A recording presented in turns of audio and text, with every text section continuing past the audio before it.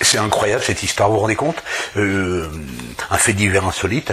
Euh, la police a retrouvé deux tonnes de cocaïne échouées sur euh, une plage dans les Landes. Non, en fait, c'est les passeurs avec leur Zodiac qui, ils se sont fait prendre en chasse par la police et ils ont balancé leur cam par-dessus bord. Ils se sont fait choper quand même. Du coup, deux tonnes de cocaïne à la mer qui sont échouées sur une plage dans les Landes. Hein Comment? Oui, excusez-moi, j'ai eu chaud d'un seul coup et je suis allé me baigner euh, dans les Landes. Ouh, fait chaud.